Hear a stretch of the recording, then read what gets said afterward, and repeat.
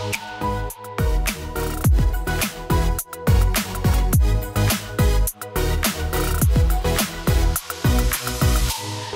I'm Andrew Poliak, Chief Technology Officer with Panasonic Automotive Systems America. And back in 2018, we had the privilege and pleasure to talk about some new technology we announced that was running the Amazon Alexa assistant in vehicles that we showed the first time a hybrid solution, meaning you were running Alexa with or without a network connection where it could actually uh, support some vehicle functions when you didn't have a network connection.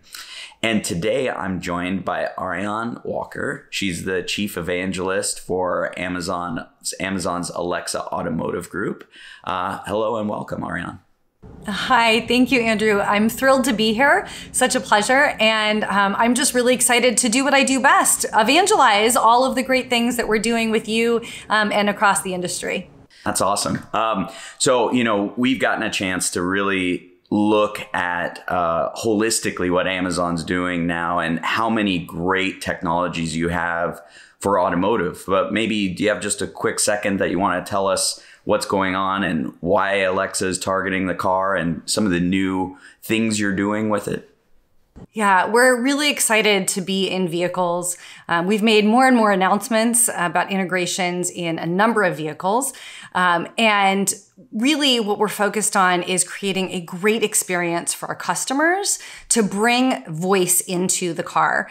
Um, and we've done this for a number of reasons. You know, first and foremost, we have heard from our own customers and we've heard across industry studies this desire to bring that voice experience that people have at home into their vehicles.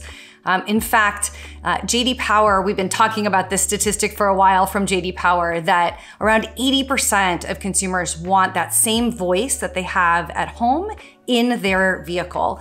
Um, and I will give us all a little sneak peek. JD Power gave me a sneak peek um, at some of their new data where they actually surveyed consumers across four different countries the US, the UK, Germany, and India. And they saw that number increase across those countries for an average of now 87% of consumers that want that same voice AI that they have at home in their next vehicle. And we're just excited to be able to bring that great experience to our customers in their in their vehicles. Oh, that's awesome, almost 90%. Uh, I'll tell you, we've had um, a great opportunity. I think it was 2018 where we started working with the Alexa team. Well, 2018 is where we announced we were working with the Alexa automotive team in providing a hybrid speech recognition on our Android uh, cockpit domain controller, and it was showing how you could use certain embedded functions um, when the vehicle may not have a connected a connection.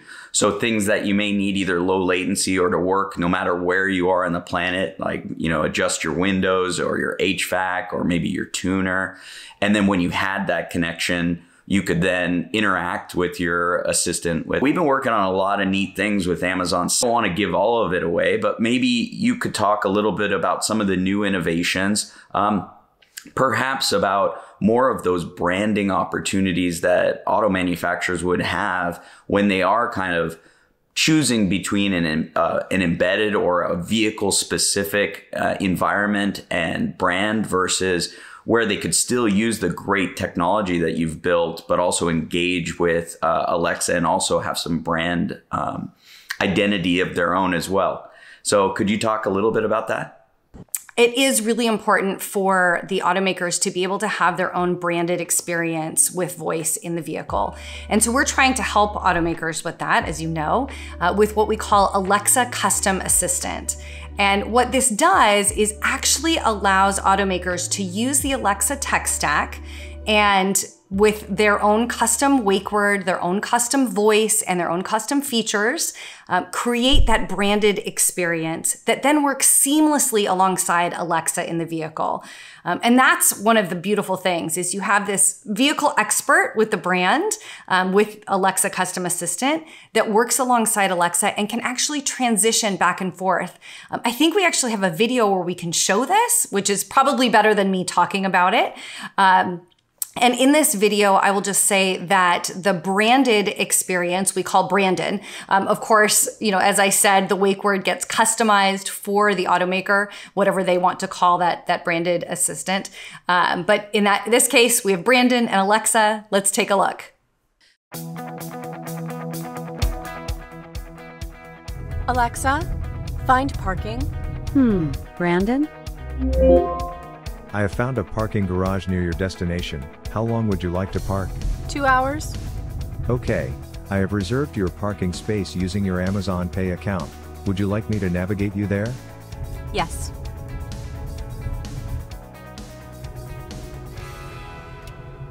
Hello Inga, welcome back. There is heavy traffic on your normal route. I have found a faster way. Do you want me to start navigation? Yes. Okay, starting navigation. Brandon, continue reading my audiobook. Hmm. Alexa? Continuing Dare to Lead on Audible. Dare to Lead. This is the author, Brene Brown.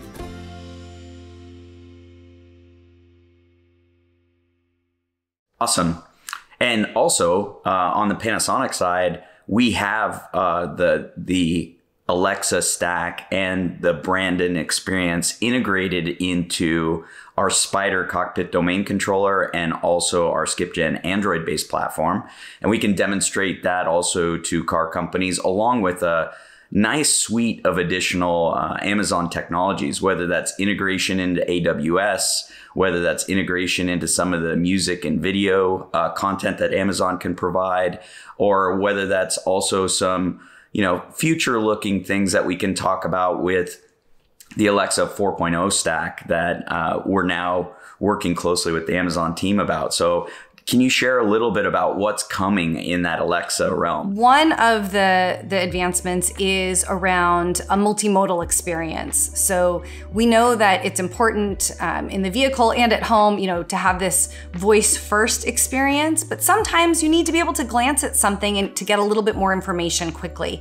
Um, and so what we've done is we've taken essentially the, the Echo Show experience that you have at home and have brought that now into the car with, um, with Alexa Presentation Language or APL, um, making it really easy for folks like yourselves to help automakers um, bring in that experience so that, for instance, if somebody asks for uh, the nearest coffee shops, right? If I ask Alexa for the nearest coffee shops, rather than having to simply listen to the options, I can now also glance at my screen and see those top options and choose which one I want to navigate to. Oh, that's perfect because, you know, from a driver distraction and a usability, there are certain things that a glance is perfect to represent and other things where a list or you know voice prompts are great but that picking from a list seeing an, a couple options and being able to choose great great and absolutely uh, perfect for an automotive environment yeah exactly exactly. We're really excited about that.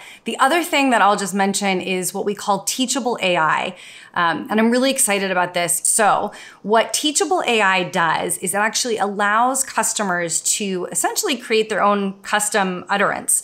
So if I said, for example, to Alexa, I'm hot, Alexa might not know what that means, but Alexa can infer what that means in the vehicle that perhaps I want to turn the temperature down five degrees or maybe roll down the windows. She can ask me what I want to do. I can then confirm, yes, I'd like you to please turn the temperature down five degrees. And now I've personalized that utterance, Alexa, I'm hot, to get her to do that exact uh, action.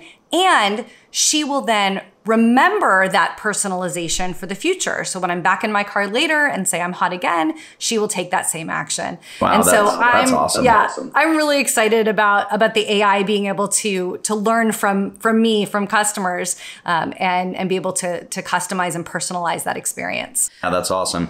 At at Panasonic, we've been doing some predictive AI that I think would benefit from a lot of the back end learning and capability that Alexa's built up over the time. But we've been doing things like um, checking the uh, maybe the air quality. And we were talking a little bit earlier before we joined this call about some technology we have called nanoe X that is actually a way to clean the air and clean pollutants from the air or smells or other things. And we can do some smart detection and say, hey, you know, it's a beautiful day. Would you like to roll down the windows? Or, you know, or the air quality is decreased. Maybe there's a fire locally and roll up the windows and make sure that you're kind of cleaning the air for people to give a more comfortable experience when you're driving. And knowing that the car has really replaced your office as your second space you're spending the most time in outside of your home. You know, the, the comfort, the convenience, the media consumption and content, all the things that we're able to enable with Amazon, I think has been really neat. Uh, it's uh, I'm excited that we're seeing these now go into the car, and and Panasonic is already one that's uh, deployed Alexa technology into production. So we're looking forward to keep adding some of these new features into it. So the one other thing that I would just mention are is the fact that consumers want to do so many things with their voice and together we're making that possible. So this is really not just being able to use their voice for features around the vehicle itself, although that is certainly important, but also around, like you mentioned, all of the entertainment features and music and, and those kinds of things, um, as well as being able to connect to the world around them, whether that's using their voice to help with navigation, like we talked about earlier, um, or being able to connect to those automotive services like finding and paying for parking or gas or, or charging.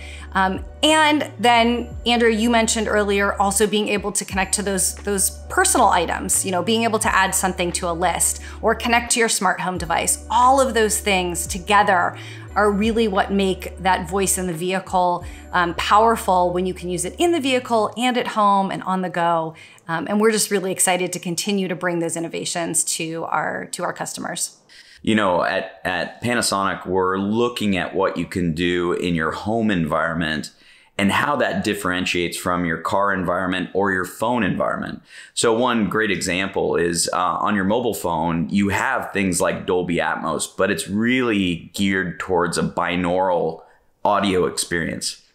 But in your home, if you're using Fire TV, for instance, that's geared around a home theater experience where you have overhead speakers, front speakers, rear speakers, subwoofers, center channel. And a lot of times those home theater experiences really have to be customized for the room it's in. Well, imagine all these cars that can have 36 speakers and branded audio like Panasonic does right now with Klipsch and with uh, Fender and with ELS and with others. We can do these amazing home theater type applications that you can use things like something like a Fire TV where you can have these great home theater experiences that can be differentiated from what you can do with a phone, for example. And I think you'll see some of those things come into the car and then be able to use Alexa and interact with them like you would in your home theater application. You see it extending into other things, whether it's voice-based games or, you know, what what's going on, you know, next in that that level of integration.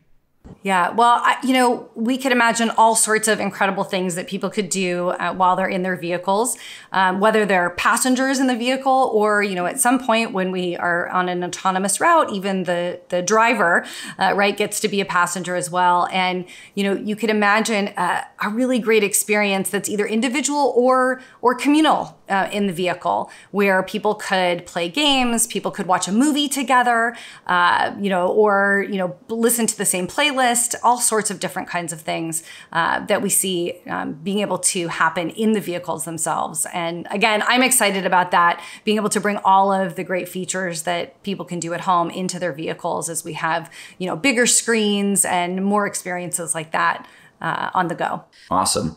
And uh, maybe last thing I wanted to talk about a little is we we've been doing a lot around these ideas of sound bubbles. So bringing private zoned audio where people can have their unique experience in each seat location that can be interacting with voice or hearing media consumption and without headphones not disturbing a different person, whether that's the driver or whatever. We've done things like whisper agents where we can target speech directly to the driver's ear so it can you know uh, recite back turn by turn navigation instructions without all the kids in the car hearing the navigation or wanting to do something to interrupt it.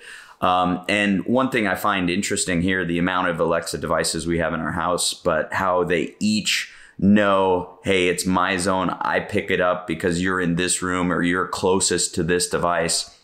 And i think what we're doing is seeing this incredible explosion of a mic of microphones inside and outside of the vehicle, coupled with this personalization or personal zoned, you know, sound bubbles.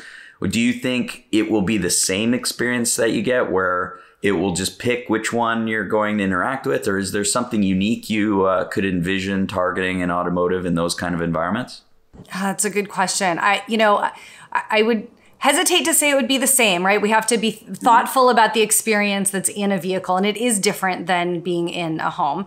Um, but I think, you know, between a combination of those zones and also being able to tap a screen and do those things, that going back to that multimodal experience, I think will create a really powerful and rich experience for customers in the future. Oh, that's that's that's absolutely great. Great, great.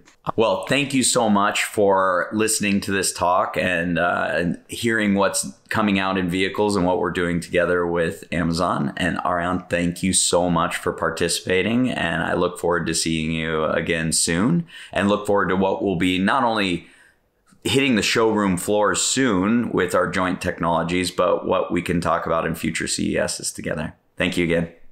Thank you.